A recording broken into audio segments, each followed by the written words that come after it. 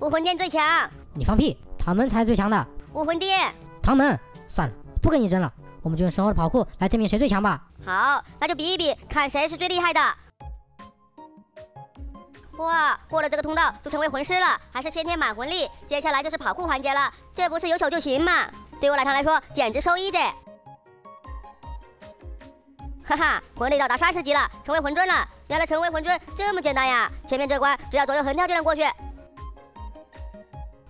失误，再来。这也太简单了吧，轻轻松松就到了魂王，嘿嘿，照这个速度下去，我奶糖离成神不远喽。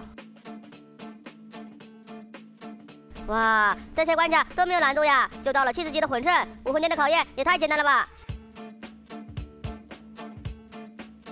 哎，怎么没跳起来呀？再来一次，成功过去也不难。奶糖，你这也太慢了吧，居然还在这，我就先走了。嘿嘿，我毛豆成为千手斗罗了，哈哈，奶糖，你就在那慢慢跳吧，等我成神后再来看你吧。臭毛豆，还没到最后，谁先成神还不一定呢，你先给我等着，我一定会超过你的。功夫不负有心人，我奶糖成功达到九十级了，获得天使斗罗的称号。这关吃个炸鸡肯定能过去。哟哟哟，毛豆，你怎么还在这呢？刚刚不是很嚣张吗？现在被我超过了吧？毛豆，你就是个小菜鸡。奶糖，你少得意了，还没到最后一刻，我是不会放弃的，我肯定还是会反超你的。哦，是吗？那毛豆，你可千万别放弃啊！我先成神去喽。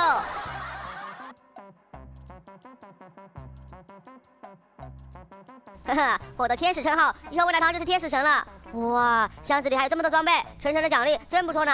看看毛豆到哪了？哎呀，毛豆，你怎么还在那跳了？你再跳下去，天都要黑喽！臭奶糖，你就在那得意吧。虽然你先成神，但先成神也不见得你比我强。毛豆，成神之战你已经输了，这次我先成为天使之神，所以这次毫无疑问是我武魂殿最强。我呸！我唐门唐三可是修罗和海神的双神位的人，区区天使神也敢和我们双神位的比？简直就是行政翔宇，皓月争辉，找死！所以唐门才是最强的。武魂殿，唐门，小伙伴们，你们认为是武魂殿更强，还是海神唐门更强呢？